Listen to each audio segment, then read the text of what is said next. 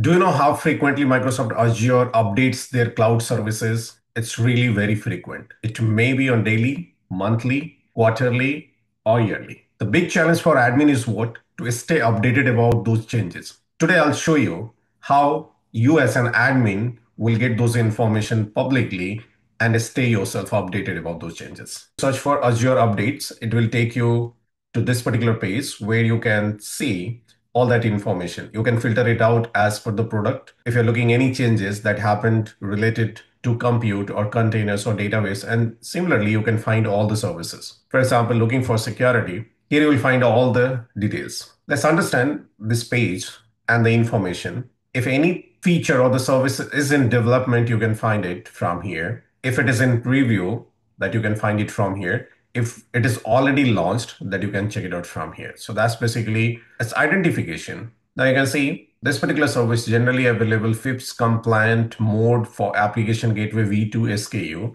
and this is already launched on december 2025 this is generally available and so on. This particular feature is in preview Entra ID support for rdp connections and that's the identification. It has been updated in November 2025. And the good thing is what you just need to click at this place. You will find all the detailed information and their associated link, which will take you to the right document from where you can fetch all the detail. You can also filter it out on the basis of their status, like in preview, launched and development.